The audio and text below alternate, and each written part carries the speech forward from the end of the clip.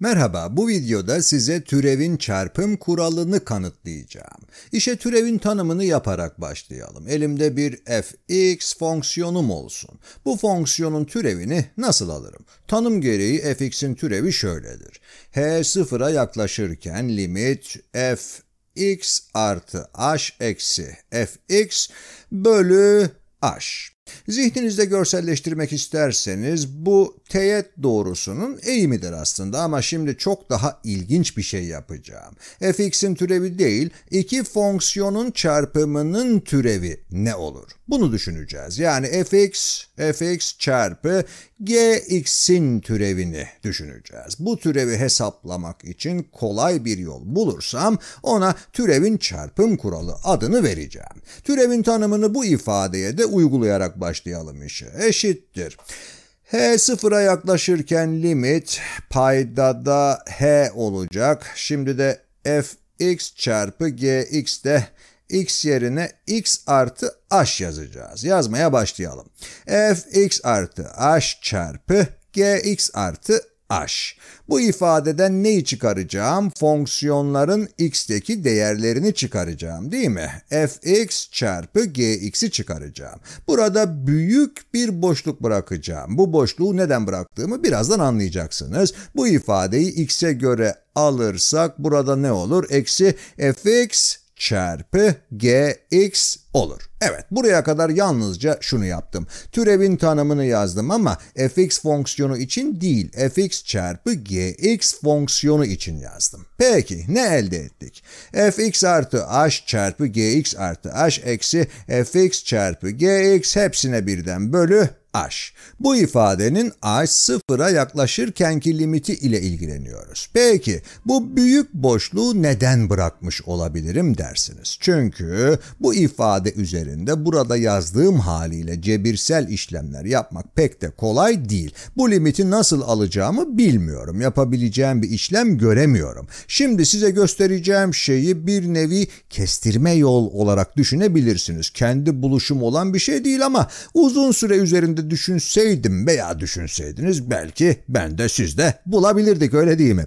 Muhtemelen bu konuya uzun süre kafa yoran biri hey bir dakika bir dakika bir ifadeyi buraya ekleyip sonra da çıkarırsam tüm bu ifadeyi farklı bir şekilde yazmayı başarabilirim ve onu hepimizin bildiği çarpım kuralı haline getirebilirim demiş olabilir. Belki önce ekleyip sonra da çıkaracağım. Evet bu ifade ne olabilir? Size bir ipucu vereyim. Yazmaya başlayalım. Artı. Eh, durun böyle yapmayalım. Eksi. Eksi. fx artı h çarpı gx bu ifadeyi yalnızca çıkarmam yeterli değil tabii. Ana ifadenin değişmemesi için çıkardığım şeyi eklemeliyim de. Artı fx artı h çarpı gx. Şimdi oldu. Ana ifadenin değeri değişmedi. Yani aslında hiçbir şey değişmedi ama çok şey değişti. Tek yaptığım bir ifadeyi ekleyip çıkarmak. Ama ortaya çıkan bu yeni ifade çeşitli cebirsel işlemler kullanılarak çarpım kuralı haline getirilebilir. Şimdi sizden ricam videoyu durdurun. Bundan sonrasına önce tek başınıza biraz kafa yorun. Peki hadi devam edelim. Bu yeni ifadeyi inceleyelim bakalım. Bu ifadeyi yeniden düzenleyelim. Eşittir. Limit h sıfıra yaklaşırken ilk olarak ifadenin bu işaretlediğim bölümüne odaklanalım. Peki ne yapacağız? İşaretli bölümü fx artı h parantezine alacağız. fx artı h parantezine alırsak işaretli bölüm ne olur? fx artı h çarpı geriye ne kaldı? gx artı h başka bir yeşil tonu seçmişim. Aynını seçeyim evet. gx artı h burası tamam. Eksi g x parantezi kapatmayı da unutmuşum. Ah sarıyla oldu. Neyse yeni bir program kullanmaya başladım ama bunda renkleri değiştirmek çok zor. Böyle aksilikler çıktığı için kusuruma bakmayın olur mu? En azından renkleri düzgün yazmaya çalışıyorum. Pekala. gx artı h eksi gx. Burayı da hallettik. Tamam son olarak da bölü H diyeceğiz değil mi? İşaretlediğim bölümü böylece yazmış olduk. Sıra geldi bu bölüme. İşaretlediğim bu bölümün de paydasında H var aslında. Bu nedenle şu şekilde işaretlemek daha doğru olacak. Evet diğer bölüm de burası. Bu bölümü de şöyle yazabiliriz. Devam edelim. Artı artı gelin bu bölümü gx parantezine alalım. Artı gx çarpı fx artı h eksi buradaki fx bölü h.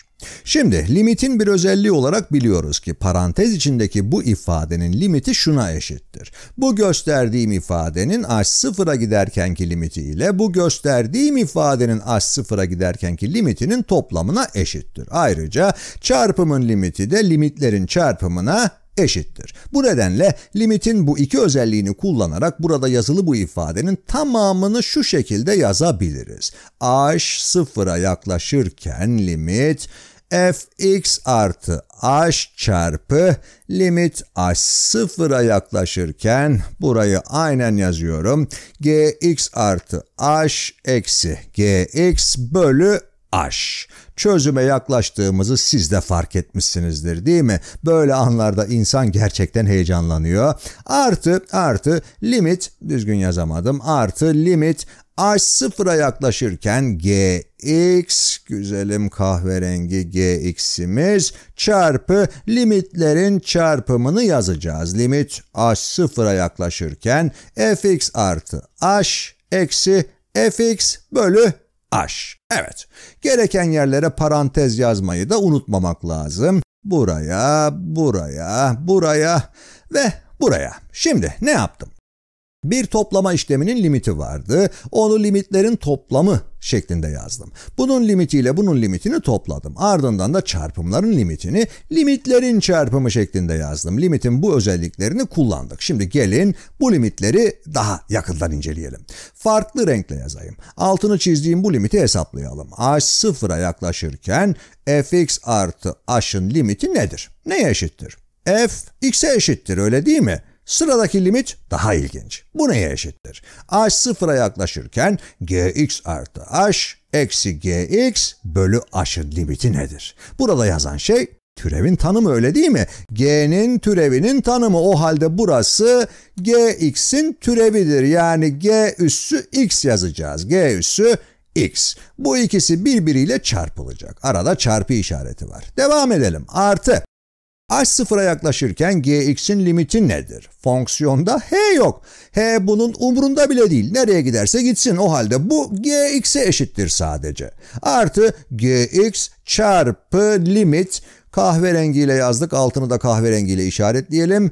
Sonuncuyu da sarıyla yazalım. Çarpı h sıfıra yaklaşırken çok yaklaştık. Çok yaklaştık. Davullar çalmaya başlayabilir h sıfıra yaklaşırken fx artı h eksi fx bölü h. Bu da fx'in türevinin tanımıdır. Burası f üssü x çarpı f üssü x. Evet işlem tamam.